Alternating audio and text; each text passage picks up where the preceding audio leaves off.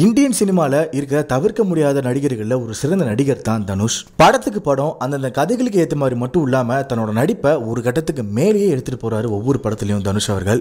So அந்த விதத்தில் இப்போது தமிழ் சினிமா மட்டும் இல்லாமல் இந்தியன் சினிமாவே பெருமைப்படுற அளவுக்கு ஒரு விஷயம் நடந்திருக்கு. அதாவது ஒரு மிகப்பெரிய ப்ராஜெக்டில் கமிட் ஆயிருக்காரு தனுஷ். அதாவது உலக புகழ்பெற்ற அவெஞ்சர்ஸ் கேப்டன் அமெரிக்கா போன்ற படங்களை டைரக்ட் பண்ண ரசோ பிரதர்ஸ் ஏற்கிற அடுத்த நெட்ஃப்ளிக்ஸ் ஃபிலிமில் தனுஷ் அவர்கள் முக்கியமான கேரக்டரில் நடிக்கிறாரு. அந்த படத்துக்கு படத்துக்கான அபிஷியல் கன்ஃபர்மேஷனும் இப்போ ரிலீஸ் பண்ணிருக்காங்க கிரே மேன் அப்படின்னு பேர் வச்சிருக்க இந்த படத்தில் தனுஷ் அவர்கள் கூட இந்த படத்தில் கேப்டன் அமெரிக்கா அப்படின்னு சொல்லிட்டு ரசிகர்களால் அழைக்கப்படுற Chris Evans and la la land Blade Runner படங்களில் நடிச்ச ரியான் காஸ்லிங் அவங்களும் இந்த படத்தில் மிகப்பெரிய கேரக்டர் பண்ண போறாங்க அப்படின்னும் ஒரு அபிஷியல் கன்ஃபர்மேஷன் வந்திருக்கு. ஸோ இது ஒரு நெட்ஃபிளிக்ஸ் படம் அப்படிங்கிறதுனால கண்டிப்பா இந்த படத்தோட குவாலிட்டியும் தரமும் வேற லெவலில் இருக்க போகுது அப்படின்னு ரசிகர்கள் இப்பவே பேச ஆரம்பிச்சிட்டாங்க. அண்ட் இன்னொரு முக்கியமான விஷயம் இது தனுஷ் அவர்களுக்கு இரண்டாவது ஹாலிவுட் படம். இதுக்கு முன்னாடியே the extraordinary journey of fakir அப்படிங்கிற ஒரு படத்துல மேஜிக் மேனா நடிச்சாரு. அந்த படமும் ரசிகர்கள் மத்தியில ஒரு நல்ல வரவேற்பு கிடைச்சது. அண்ட் நிறைய சர்வதேச திரைப்பட விருதுகள்லயும் இந்த படம் நாமினேட் ஆகி ஸ்க்ரீனிங்கும் பண்ணப்பட்டது. தன்னோட கெரியர்ல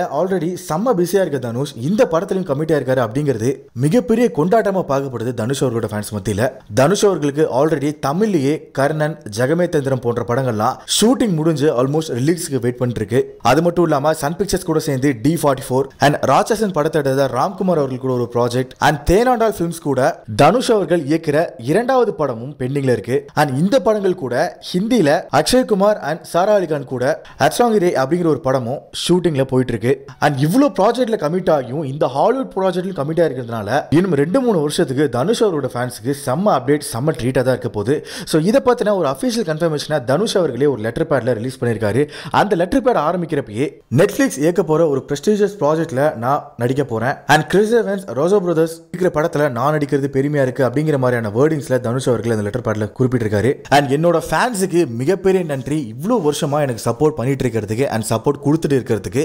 Love you all spread love and முக்கியமாக ஓம் நம சிவாயா அப்படின்னு சொல்லிட்டு அந்த லெட்டர் பேடில் குறிப்பிட்டது மட்டும் இல்லாமல் லவ் டி அப்படின்னு சொல்லிட்டு சிம்பிளாக அந்த லெட்டர் பேடை முடிச்சிருக்காரு. ஸோ இந்த ஒரு நியூஸை கேட்ட ஃபேன்ஸ் எல்லாருமே செம்ம ஹாப்பியாக இருக்காங்க. அண்ட் இந்தியன் சினிமாவுக்கு ஒரு மிகப்பெரிய ப்ரௌடாக இருக்க போது அண்ட் தமிழ் சினிமாலேருந்து ஒரு நடிகர் இவ்வளோ பெரிய ப்ராஜெக்டில் இருக்கிறது எங்களுக்கு மிகப்பெரிய மகிழ்ச்சியாக இருக்குது அப்படின்னு சொல்லிட்டு தமிழ் சினிமாவில் இருக்க டாப் ஆக்டர்ஸ் எல்லாருமே அவங்களோட கருத்துக்களை ஷேர் பண்ணிட்டு இருக்காங்க. ஸோ நீங்கள் இந்த ப்ராஜெக்ட்டில் தனுஷ் அவர்கள் கமிட் ஆனதை பற்றி என்ன நினைக்கிறீங்க? அண்ட் நீங்கள் எவ்வளோ ப்ரௌடாக ஃபீல் பண்ணுறீங்க அப்படிங்கிறத கீழே கமெண்ட் பாக்ஸில் கமெண்ட் பண்ணிடுங்க முக்கியமாக டாக்ஸ்க்கு சப்ஸ்கிரைப் பண்ணிடுங்க and don't fight bell icon